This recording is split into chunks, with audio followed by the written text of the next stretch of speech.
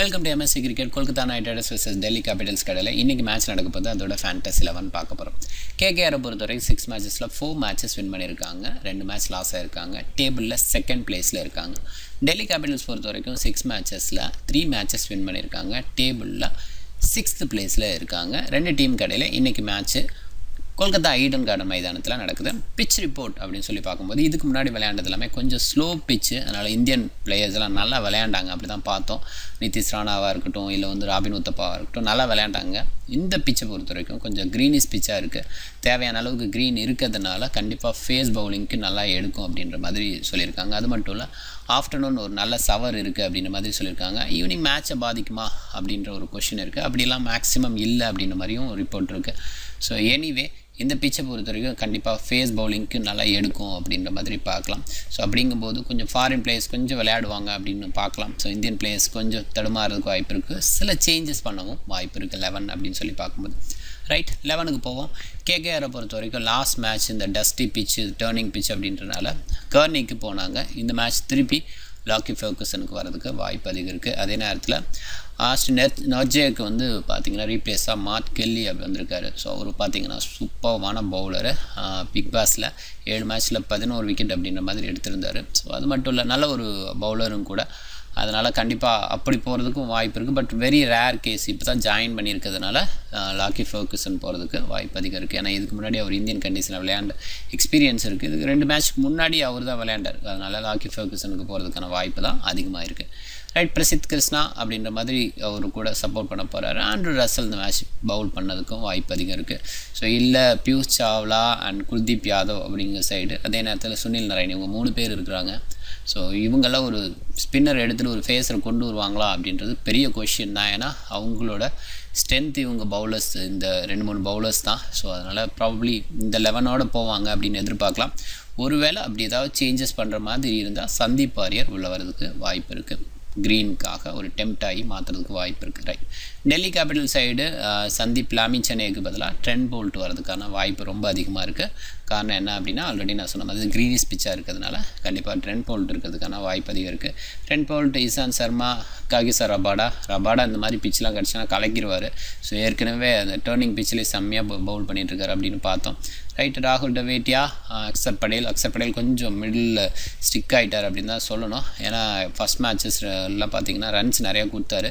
So அதுக்கப்புறம் கொஞ்சம் contain பண்ணி சூப்பராக பவுல் பண்ணிட்டார். அதே நேரத்தில் ஒரு சூப்பரான ஒரு நாக் விளாண்டார் அது மூலமாக ஸோ ப்ராபப்ளி அக்சர் படேலோட பிளேஸ் வந்து கன்ஃபார்ம் அப்படின்ற மாதிரி சொல்லலாம். ஏன்னா டெல்லியை பொறுத்த வரைக்கும் நிறைய சேஞ்சஸ் பண்ணுறாங்க யங்ஸ்டர்ஸ் இருக்காங்க. அதனால் நிறைய சேஞ்சஸ் பண்ணிகிட்டு இருக்காங்க. ஸோ இன்னொரு முக்கியமான ஒரு விஷயம் கொல்கத்தாவுக்கு அகெயின்ஸ்டாக இப்போ அவங்க வந்து கங்குலி டெல்லி கேபிட்டல்ஸ்க்கு சப்போர்ட்டாக இருக்கார் ஸோ பார்ப்போம் அது ஒரு பெரிய இதாக இருக்கும். நிறைய அவருக்கு ட்ரிக் தெரியும். ஸோ டெல்லி கேபிட்டல்ஸ் சொல்கிறதுக்கான வாய்ப்பு அதிகம் இருக்குது சிகர் தவான் பிரித்திஷா ஓப்பன் பண்ண போகிறாங்க ஸ்ரேயா சையர் ரிஸ்பா பண்ட் அப்படின்ற மாதிரி கண்டினியூ ஆக போகுது. Colin Ingram Chris Morris Axar Patel ராகுல் Tewatia Kagiso Rabada Ishant Sharma and ten board அப்படிங்கிற மாதிரி அவங்களோட ஆர்டர் இருக்கும் அப்படின்னு எதிர்பார்க்கலாம். ரைட் ட்ரீம் லெவனுக்குள்ளே போகலாம்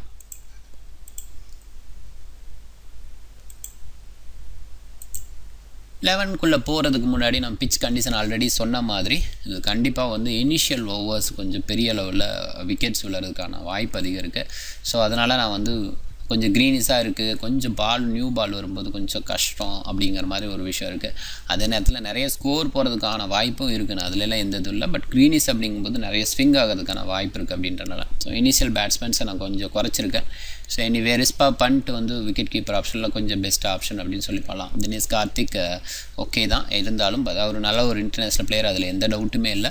இருந்தாலும் பொசிஷன் அப்படின்னு சொல்லி பார்க்கும்போது ரிஸ்பா பண்ட் கொஞ்சம் முன்னாடி வரதுக்கான வாய்ப்பு இருக்குது அதே நேரத்தில் தினேஷ் கார்த்திக் முன்னாடி கொஞ்சம் குவாலிட்டி பிளேயர்ஸ் நிறைய உத்தப்பா ராணா கிறிஸ்லின் அந்த மாதிரி முன்னாடி இருக்கிறதுக்கான வாய்ப்பு இருக்கிறதுனால ரிஸ்பா பண்ட் அப்படின்னு சொல்லி போகிறது கொஞ்சம் பெட்டர் சாய்ஸ் அப்படின்னு சொல்லி நான் பார்க்குறேன்.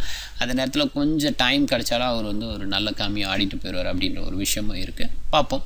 ரைட் பேட்ஸ்மேன் சைடு அப்படின்னு சொல்லி பார்த்தோம்னா நான் நாலு பேட்ஸ்மேன்ஸ் எடுத்திருக்கேன். Shreyas Iyer Colin Ingram Nitish Rana and Uthappa அப்படின்ற மாதிரி எடுத்திருக்கேன். ஸோ இந்த மாதிரி கொஞ்சம் பிச்சர்ஸ் கொஞ்சம் ஹார்டாக இருக்கிற பிச்சர்ஸ்லாம் இங்கிராம் சூப்பராக விளையாடுவார். ஏற்கனவே இப்போ ஸ்லோ பிச்சர்ஸ்லாம் நல்லா விளையாட ஆரம்பிச்சார். அது ஒரு விஷயம். இருந்தாலும் இந்த மாதிரி பிச்சர்ஸில் நல்லா விளையாடுவார் அப்படின்ற ஒரு விஷயம் இருக்குது ஸ்ரேயா சையர் கொஞ்சம் இனிஷியல் த்ரெட்லாம் கொஞ்சம் முடிஞ்ச பால் ஓல்டானோடனே இறங்குற மாதிரி இருக்கும். பிருத்திஷா அண்ட் தவான் தான் ஓப்பன் பண்ணுவாங்க. ஸோ அதனால் நான் அவங்களை எடுக்கலை. ஸோ கண்டிப்பாக வந்து ஒரு பிளேயர் ஸ்டிக் ஆகிறதுக்கும் வாய்ப்பு இருக்குது கொஞ்சம் இனிஷியலாக கொஞ்சம் ஸ்லோவாக விளையாண்டுட்டு அப்புறம் ஸ்டார்ட் பண்ணவும் வாய்ப்பு இருக்குது ஸோ அதனால் நான் எடுத்திருக்க டீம் தான் ஓகே அப்படின்னு நான் சொல்ல வரல. ஸோ கண்டிப்பாக வந்து சிக்கர் தவான் கிறிஸ்லின்னு பிருத்திவ் ஷாலாம் நல்ல சாய்ஸ் அப்படின்னு சொல்லி பார்க்கலாம். ஸோ உத்தப்பா ராணா அப்படின்ற மாதிரி நான் எடுத்திருக்கேன். ஆல்ரவுண்டர் சைடு அப்படின்னு சொல்லி பார்க்கும்போது Andrew Russell and Chris Morris போயிருக்கேன். கண்டிப்பாக வந்து சுனில் நரேன் நல்ல சாய்ஸ் அப்படின்னு சொல்லியும் பார்க்கலாம். ஏன்னா அவரும் ஓப்பன் பண்ண போகிறாரு அண்ட் ஸ்பின் பவுலிங் அப்படின்ற வகையில் போவார் அப்படின்னு சொல்லி பார்க்கலாம். ஸோ இனிஷியலாக அவர் வந்து பெருசாக வந்து இதில் விக்கெட்ஸ் எடுக்கலை அப்படின்ற மாதிரி போகலாம். ஸோ இந்த மாதிரி கொஞ்சம் ஹார்ட் பிச்சு அப்படிங்கிறதெல்லாம் அவருக்கு ஒன்றும் பெரிய பாதிப்பு கிடையாது. நல்ல விக்கெட் எடுக்கிற ஒரு பவுலர் தான். ஸோ அதனால் சுனில் நரேன் நல்ல ஒரு சாய்ஸ் அப்படின்னு சொல்லி போகலாம் அண்ட் பவுலர் சைடு அப்படின்னு சொல்லி பார்க்கும்போது Rabada Ishant Sharma Lockie Ferguson அப்புறம் வந்து பிரசித் கிருஷ்ணா அப்படின்ற மாதிரி நான் எடுத்திருக்கேன். ஸோ கண்டிப்பாக வந்து uh, ரசலை வந்து நான் கேப்டனாக போட்டிருக்கேன். அண்டு uh, ஸ்ரேயா செய்யர் அப்படின்ற மாதிரி போயிருக்கேன். ஸோ ரசல் வந்து uh, கேப்டன் அப்படின்ற சாய்ஸ் வந்து கண்டிப்பாக வந்து பேட்டிங் செகண்ட் அப்படிங்கிற வகையில் ரசல் கேப்டன் அப்படின்றது பெட்டரான ஒரு சாய்ஸாக இருக்கும் அப்படின்னு சொல்லி பார்க்குறேன். பேட்டிங் ஃபஸ்ட்டாக இருக்குது அப்படின்ற பட்சத்தில் ஸோ இவர் வந்து டெத் ஓவர்ஸ் இதெல்லாம் கொஞ்சம் கால்குலேட் பண்ண வேண்டியது இருக்குது ஸோ அப்படின்னா ஒரு கேப்டனா இல்லை வைஸ் கேப்டனா அப்படின்றது டிசைட் பண்ண வேண்டியது இருக்குது ரைட் எனிவே கொஞ்சம் டெத் ஓவர் பவுலர்ஸை கண்டிப்பாக எடுத்துக்கோங்க. ஸோ இது கொஞ்சம் ஃபாஸ்ட் ஸ்விட்சாக இருக்கிறதுனால கண்டிப்பாக அசிஸ்ட் கொடுக்கும் ஃபாஸ்ட் பவுலர் நான் எல்லாமே ஃபாஸ்ட் பவுலராக எடுத்திருக்கேன். ஸோ அது ஒரு இது.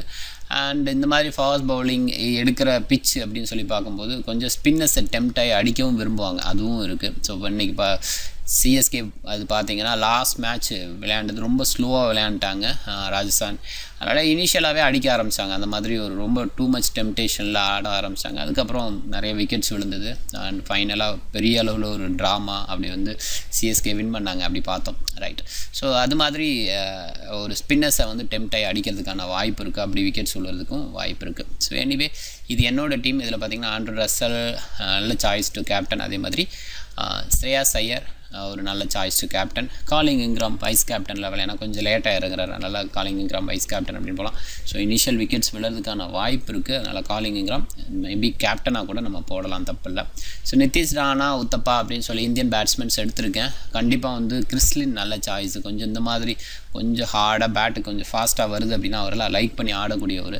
ஸோ ப்ராபப்ளி இந்த ஃபாரின் பிளேயர்ஸ்க்காகவே இந்த பிச் ரெடி பண்ணியிருப்பாங்க என்னமோ. ஏன்னா வந்து ஆண்ட்ரஸை கொஞ்சம் ஸ்லோ பிச்சில் சென்னையில் கொஞ்சம் தடுமாறினார். ஸோ ஃபிஃப்டி ப்ளஸ் அடிச்சார் அது வேறு விஷயம். இருந்தாலும் இவங்க வந்து இவங்களோட ஸ்ட்ரென்த்துக்கு பிச் ரெடி பண்ணுவாங்க அப்படின்ற ஒரு விஷயமும் இருக்குது ஸோ அதனால் அப்படி போவாங்களோ அப்படின்னு பார்க்க வேண்டியது இருக்குது ரைட் ரிஸ்பா பண்ட் ஒரு நல்ல சாய்ஸ் வைஸ் கேப்டன் அப்படின்னு சொல்லி பார்க்கும்போது ஸோ கேப்டன் சாய்ஸ் அப்படின்னா Uthappa Rana calling Ingram Shreya Iyer பிருத்யூஷா and ஸ்டிக்கர் தவான். இவங்கெல்லாம் வந்து நல்ல சாய்ஸு அதே மாதிரி ஆண்ட்ரு ரசல் மறக்க வேண்டியதில். அவரை வந்து நம்ம எப்பயுமே மிஸ் பண்ண வேண்டாம். அந்த அளவுக்கு தான் அவர் வந்து பிளே இருக்குது ரைட் இது என்னோடய டீம் சேனலை சப்ஸ்கிரைப் பண்ண மறக்காதீங்க. உங்களோட கமெண்ட்ஸை கீழே போஸ்ட் பண்ணுங்கள் உங்கள் வீடியோ பிடிச்சிருந்தா லைக் பண்ணுங்கள் உங்கள் ஃப்ரெண்ட்ஸுங்களுக்கு ஷேர் பண்ணுங்கள் மிக்க நன்றி.